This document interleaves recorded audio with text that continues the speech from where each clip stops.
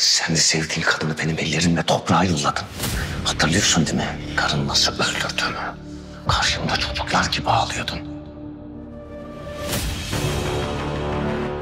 Gördün değil mi?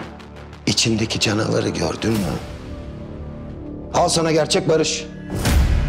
Fırat! Sen konuşmayacağına emin misin? Büge'den bahsediyoruz. Çocuğumun annesinden.